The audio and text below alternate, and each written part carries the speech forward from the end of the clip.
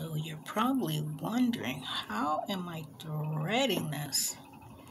Well, first of all, you thread it just like you do your normal tension. Follow your directions on how you thread your machine. And that's what I'm going to do right now. So with this one, I'm trying to do this without too much of a problem. This is a, what do they call this? This is a, um, smartphone, so just to let you know. So I'm going to follow my steps. That's one, two, three, four. Lower my presser foot down so I can get a little bit of tension. Okay. I've got to thread it only because my automatic threader cutter after I don't know how many years I've had this sewing machine. It was one of my first computerized sewing machines, by the way. Years and years, my automatic thread threader doesn't thread anymore. But, you know, it's nothing that I can't do by myself with a pair of glasses. Let's take a look. So let me get my bifocals on. I'm going to get a few things to help me. I'm hoping you can all see what I'm doing. And then I'm going to thread it as best as I can. I have multiple sclerosis, so I tend to wobble a lot and tend to kind of not be able to see what I'm doing. It's not good when you wobble a lot. Okay, see it's coming out already. I already stuck my finger earlier. Okay, come on, thread. You can do it, Joanne. It's really hard to thread this with a... I have a needle threader, but I'm going to buy that other one that I seen. I seen it somewhere. Okay, so okay, so that's done. So I wound up my bobbin, and when I bought the sewing machine, I used to have a lot of bobbins, but moving and such, I lost a lot of them. So down there, I love about the sewing machine. Um, this is the sec the first time I'm using it for this particular type of um, free motion. So with this sewing machine, clockwise, your bobbin, place it in your bobbin clockwise, and then there's a little groove on the side. You follow that groove and clap, clamp it in, and it should go smoothly. Don't overwind your Pfaff sewing machine due to the fast it'll get too and then it won't want to go through. They're very sensitive, highly sensitive machines. Snap. Okay, you heard that. So I'm going to bring in my thread because this is an older sewing machine. Pull my bobbin up, thread up, pick up my presser foot, bring in the thread, and what did I do? I didn't do that right. Okay, let's do it again Bring my bobbin thread up. There you go. Got it. This doesn't have an automatic, you know, thread puller upper and all that like these new modern sewing machines have. So it just brings you back to the basics. So I'm going to trim that off just a wee bit. Okay. This is the Flynn quilt frame. And I'm only using two of the rods. So I'm going to close up my little door and then swing my other little utility door that has all the utilities and feet in there and voila. Now what I really want to show you is this little leveler back here. This little leveler if you were to do that you will not be able to free motion. There is actually a little thing you have to do, and that's pull it toward the back. And now, oops, okay, pull it towards the back, and now it's on free motion style. There's a notch over here. So if you read your directions, you'll know how to do that. Okay, so now that's threaded. Let's see, if I can pull that carefully. There we go. I'm in. Let me trim off the thread that I had earlier. And the only reason why I had to stop is because my bobbin ran out of thread. Now, camera back more and show you some free motion. Okay, so I finished that one. Go back some. Let me move the roller.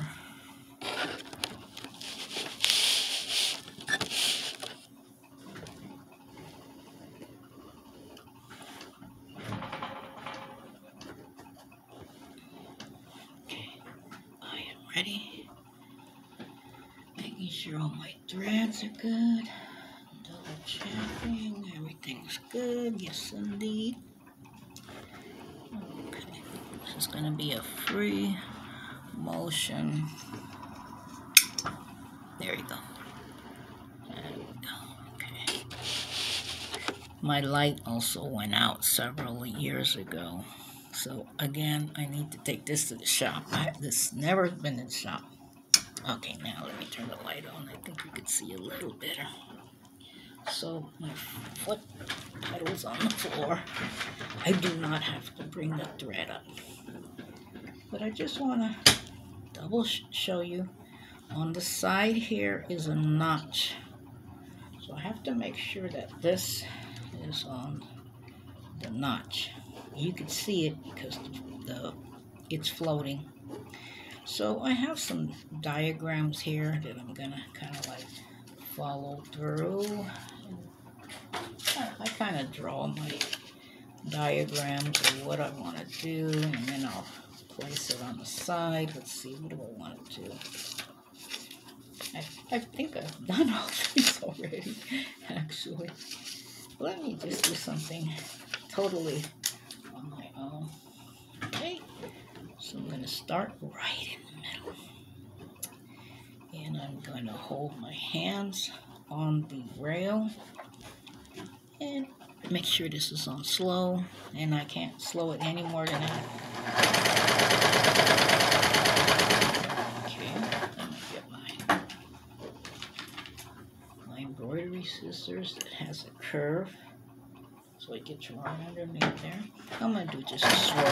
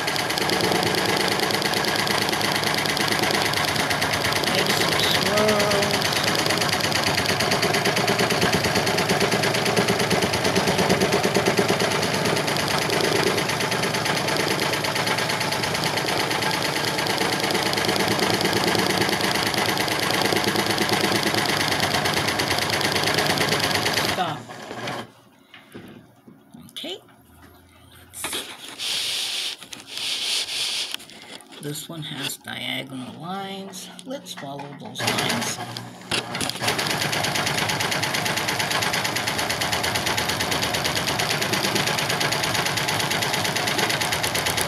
Make them smaller.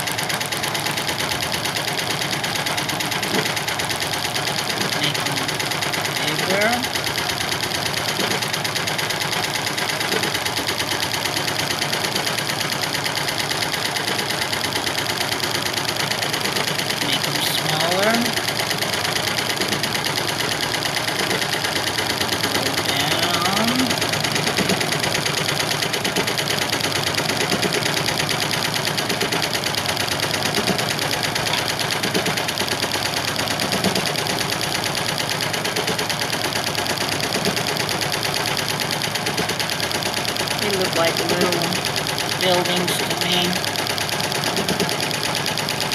Okay.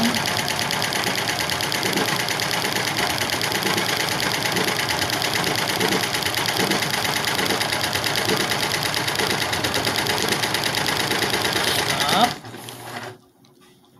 Need to adjust my here. I'm thinking, what would I like to do? Okay, I know what I'll do. I'll do a little starburst.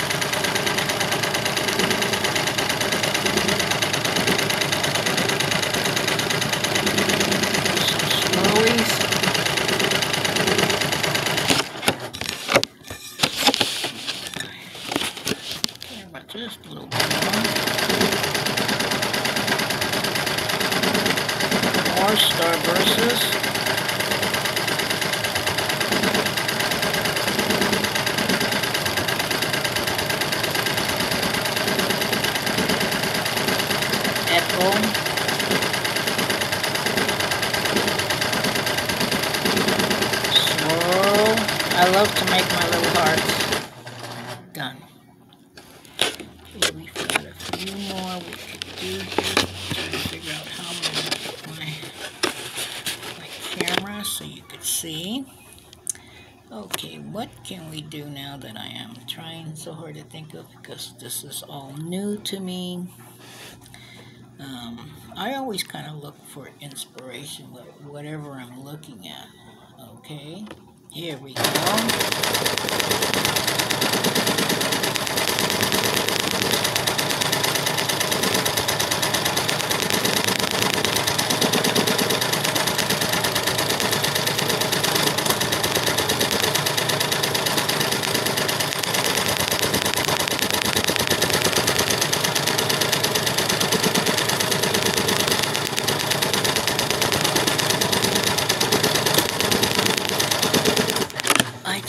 Yeah, I still have it on number two. Okay, I'll let you know about that in a minute. Hold on.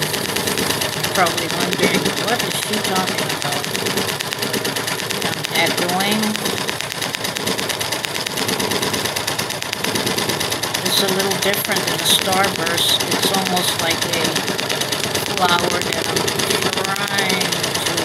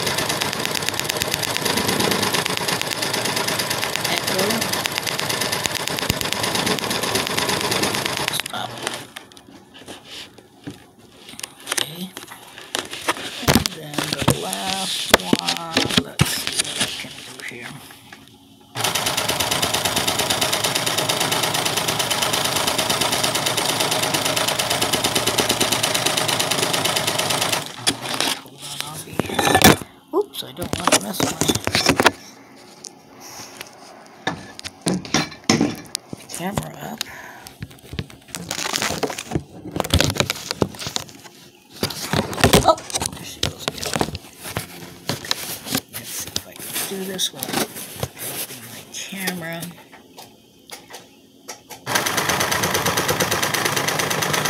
What I'm doing is just doing some loop-de-loops.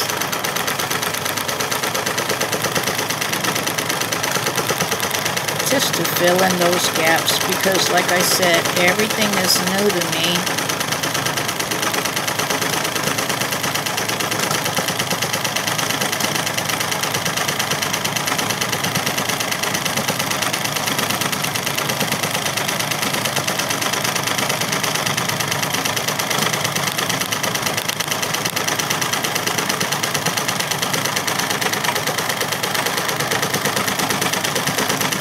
I love about this is it already has a walking foot. Done. Okay, now I've got to lift up my, get the, let's see, one of the cones. This is what I'm using to roll it around underneath the frame, which is called a, I forget what it's called, but there's the look of it. That's the other one here. It's a simple frame made by Flynn Quilt Frame. I'm not getting paid from this. I'm not sponsoring it, but I'm actually telling you how wonderful, letting you know, apologize, no offense to anybody, how I just enjoy using the quilt.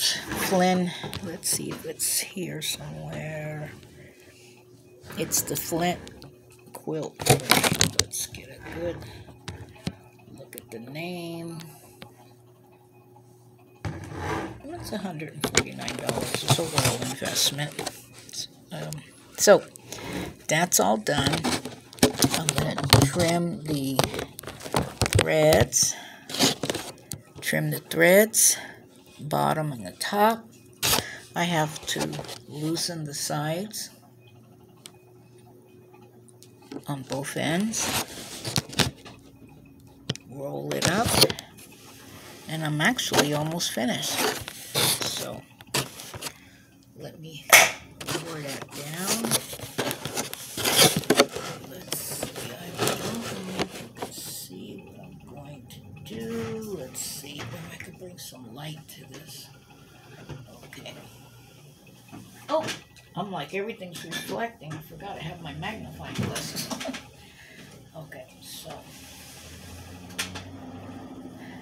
let me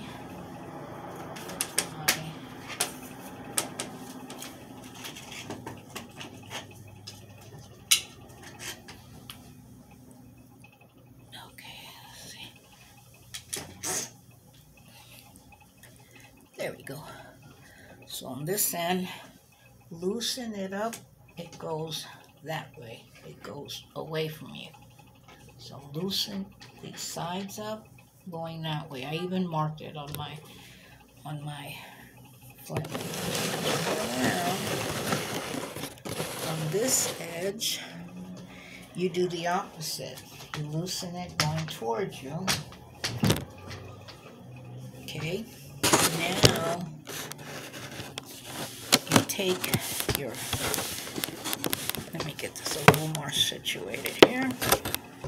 Make sure that the PC um, piping is, everything is um, nice and lined up. So these are the lead sticks, so I have to remove the safety pins whatever you use. I don't know what you're using. You could have a more sophisticated way of doing it. But this is how I do it.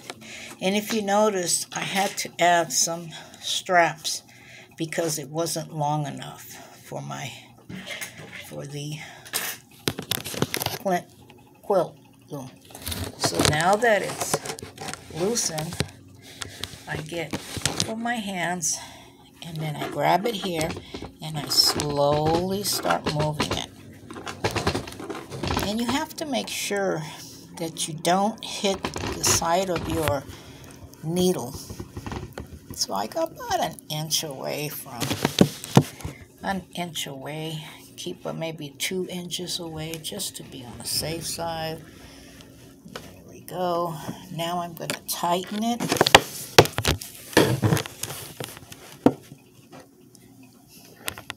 Which goes away from me on both ends.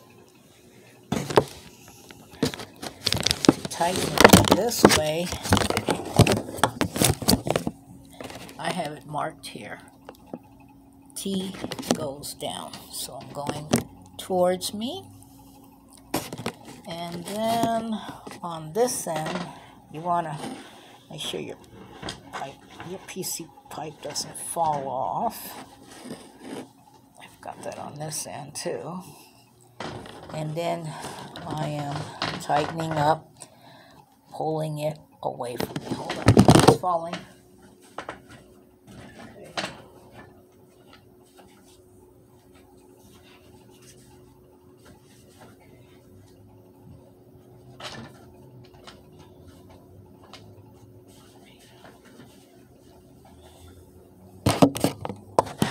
Give me trying to set this up for you. Okay, so you see I'm tightening it up here. Now I'm going to tighten up the knobs on both ends. Index. The next. Now I'm going to place the lead sticks back on. be careful not to.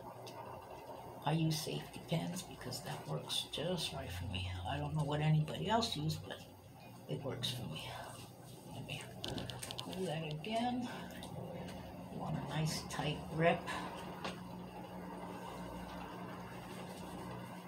There. I'm going to do the same to the other You're going to pull that in. Safety pin.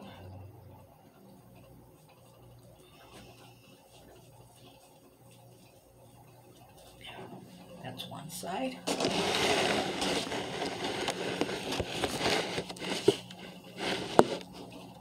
The other side. I use safety pins, they work really good. And then pull that pin it with your safety pin.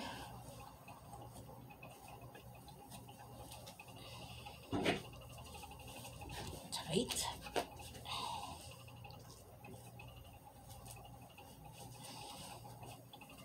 And I'm careful not to sew anything beyond that. Okay?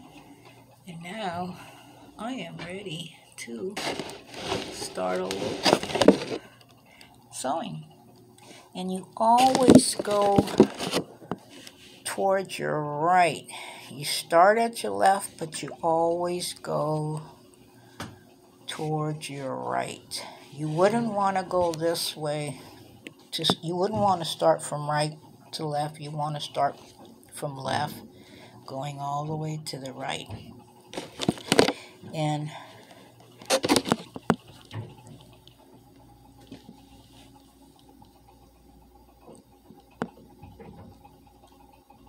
That's an everyday thing for five years. And it gets louder as she gets drunker.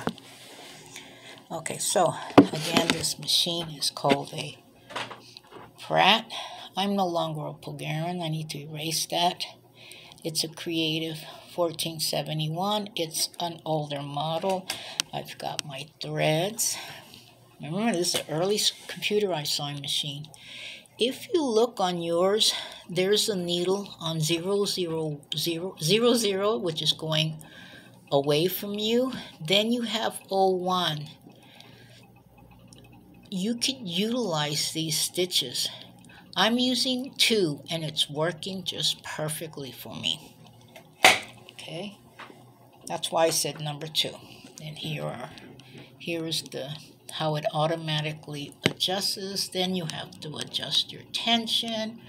I have it on, let's see, I can't really see what that is. Let me open this up. Number between I have it between five and four and it's working just just right. So I hope that helped you. Make sure if you're using this Flynn quilt that you have ample space for yourself. A oops I dropped my handkerchief over there. I have my um, foot pedal there. I have a trash can. I have my other sewing machines, as you can see, they're all over the place. Thread that you're going to be using. I have a computerized sewing machine as well. And I have two other ones, three actually stored. And there's my grandmother's uh, sewing machine, which is down there. And you use foot pedal only, foot power, pow, foot power, foot power. And then here's another 120 year old sewing machine, but I converted it to an electric sewing machine. And it's on my um, table. You're probably wondering what this is here. Well, for some reason, whoever had this had a, I don't know what they used this for. Maybe because they were using it as a bobbin winder. I really don't. But there's a huge nail that I have tried so hard desperately to come out, but it won't come out. So well, anyway, that's there, and that's the another 120 year old sewing machine. And then I have an 1890 sewing machine in storage, which I'm going to try to sell. So that's it. Make sure you have plenty of room. Maybe you want to watch TV. You might need a, another table for whatever. I'm just I'm drilling something and cleaning up things. So make sure you have plenty of room because this will go way over there. So you have to keep an eye on what you're doing because you don't want to accidentally hit your your lights or anything. But this is an ingenious way of creating a free motion on your quilts is another way of saving yourself money if you can't afford these beautiful other quilt frames. Um, and another thing that I like about my prep is I want you to see, which really surprised me, I can take that pretty far, see? But you need to be careful. You don't want to damage your machine by getting too close to that. I cannot do this this close on this particular one because it is longer here and this one here is a lot shorter if you can... Oops, my camera fell again. Hold on. It's actually my smartphone, but it keeps falling. And you could see this is much shorter in distance from here to here versus the Juki, which is 5 inches tall. This is only 3 inches tall. I have more tallness here than I have on that one. I hope this helped you. Please give me a thumbs up or a like, share. I'm not getting paid to show you how to use the quilt, the Flynn quilt frame, but I'm not sponsoring it either. I'm not making any monetary of this for the sewing machines or anything. It's just the love of sewing and quilting. So from, I still have a lot of um, quilts to finish here. I've got all my batting um, all ready for all these quilts that I have. And they're all down there just waiting for me to do um, to create. This is my loom right here. This is a floor loom. It's compact and foldable. That's a whole different story. And the frame to hold it and my warping board and everything's over there. So thank you for joining me. Yes, I listen to music. I have my computer, laptop up there. I have ample space everywhere I want to go in any room I want. Oh. thank you for joining me. This is Joanne Guitron. I'm divorced now. I'm not a Bulgarian. Um, things happen. So God bless you all. Thank you for listening and joining me on my journey to quilting and learning how to use this wonderful frame. God willing, someday I will be able to afford a Q zone frame. That's my long term dream. And also purchasing a uh, sewing machine combo if possible for a quilt frame. So we'll see how that goes. And it'll be right here and it's beautiful. I got a lot of room now. Thank you for joining me. Bye bye.